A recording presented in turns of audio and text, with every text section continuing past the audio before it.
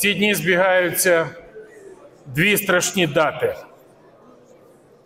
Десять років тому початок війни і загарбницька позиція Росії, і два роки тому початок широкомасштабного вторгнення. Ні в кого в нас немає жодних ілюзій. Путін прийшов не по Донбас, не по Дон... Авдіївку і Бахмут. Путін прийшов для того, щоб захопити всю Україну, знищити весь український народ, нас з вами.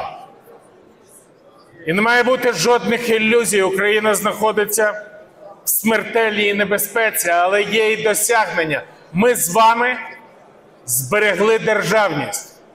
Ми зберегли Україну. І в цьому початок нашої перемоги і її запорука.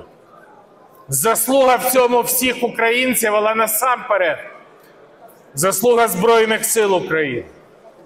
З цієї трибуни всі чотири місяці до початку широкомасштабного вторгнення 11 разів я і фракція Європейської солідарності закликала прийняти законопроекти, які збільшать обороноздатність нашої держави, збільшити фінансування збройних сил, розгорнути резерви, скомплектувати стратегічні резерви, перекрити шляхи напрямку і билися як головою об асфальт.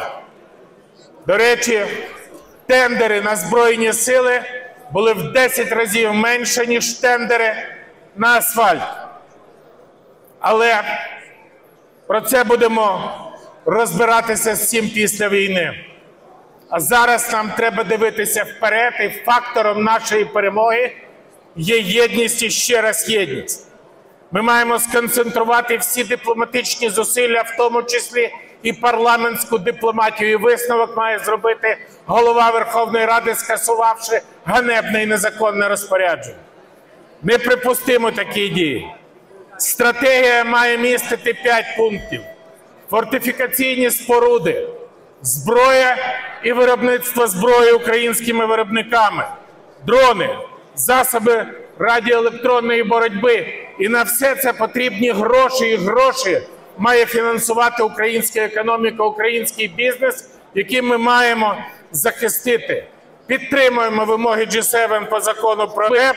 Закликаємо владу не дурити партнерів. Дякую, слава Україні.